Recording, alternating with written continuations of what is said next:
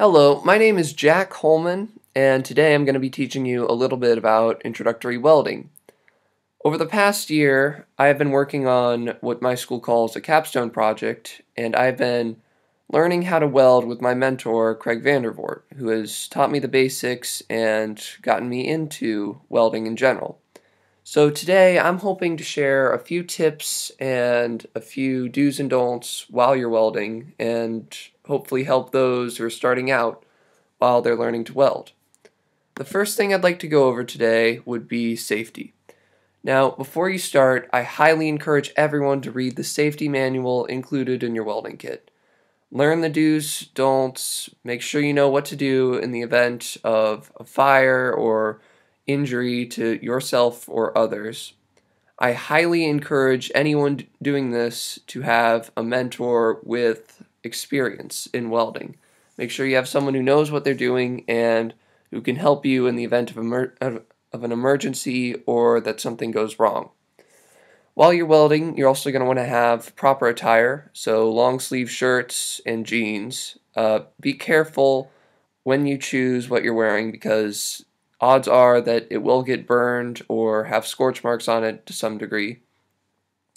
Safety gear for welding includes the welding mask, which I have up here. This protects you against brightness while you're welding because when you're working with materials that get this hot, uh, they do give off a lot of light and you're going to want to be protected from that. It's also very hard to see while you're welding and this gives you more visibility while you're doing it. The welding cap is also critical. This protects your hair from any sparks that may come up while you're welding and if you're wearing if you have long hair, I highly encourage you to put it in a ponytail or just make sure it's out of the way and there's no danger of it catching on fire. Also the gas mask, this is to protect you while you're welding also. I have heard a few horror stories of people getting diseases or cancers because they were welding for a long period of time, and it's just better to have a gas mask on to filter out any hazardous material you may breathe in while you're welding. Also, finally, I encourage everyone to check their surroundings. Make sure there's nothing flammable or nothing that can uh, catch on fire while you're welding. So just be ca careful and use common knowledge. Uh, once again, these are just tips. I'm not encouraging anyone to do this on their own. Please have someone who knows what they're doing. Read the manual. I do not want anyone getting hurt and take the proper safety precautions. Now, let's get into the actual project.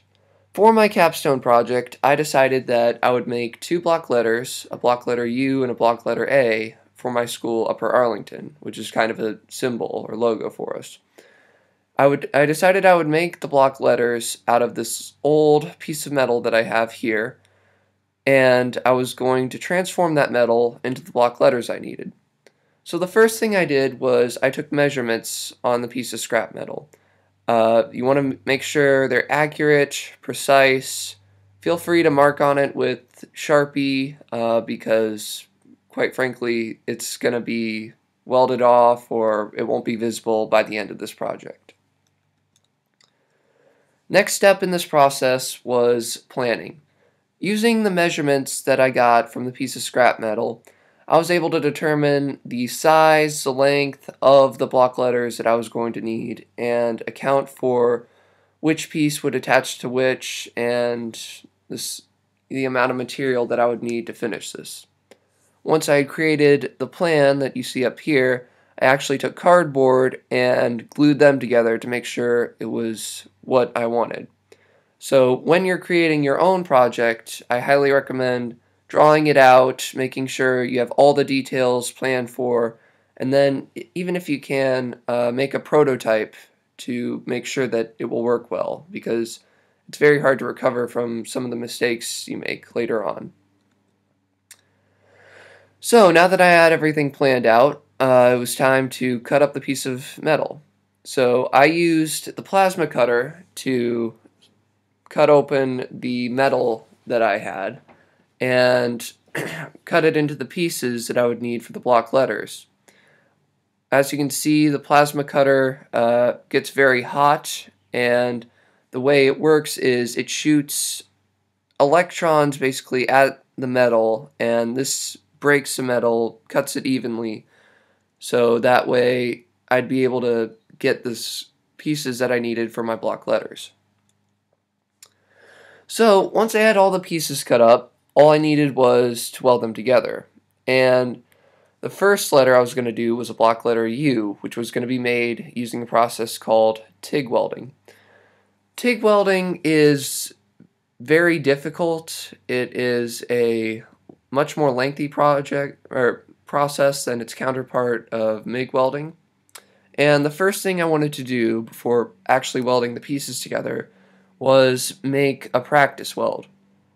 Now, practice welds are used to determine the amount of amps or power you have while welding and make sure that you're able to weld correctly with the materials you have.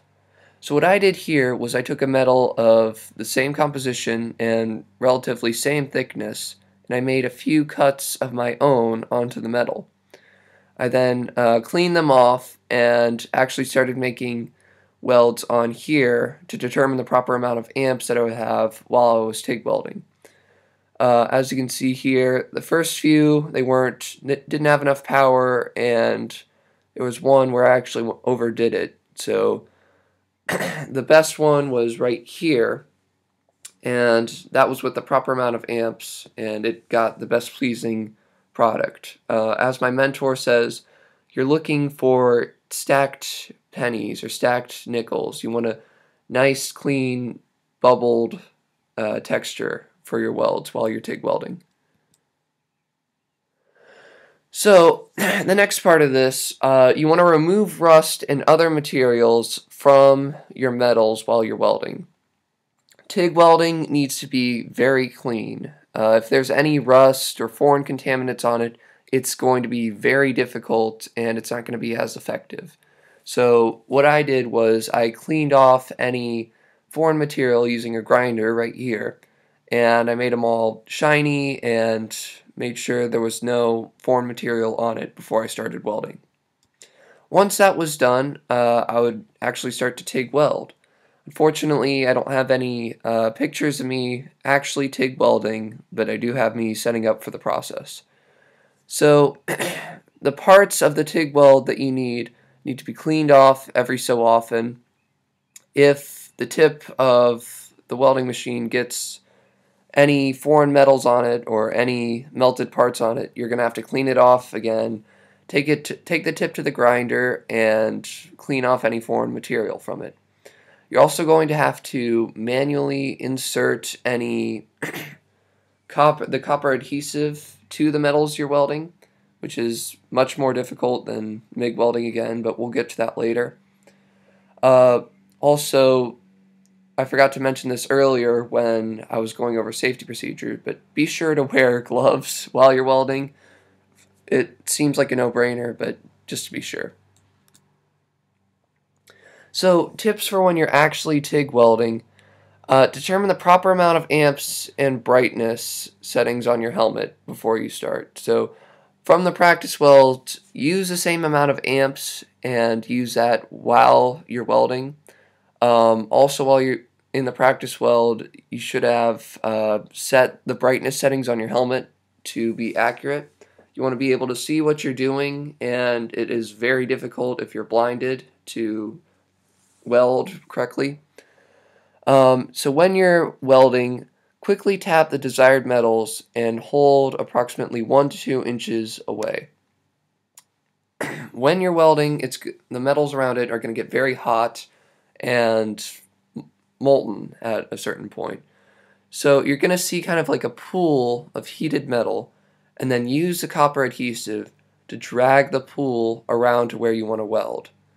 This was one of my better welds for the block letter U, and as you can see it has the slight stacked pennies feature that we've been looking for.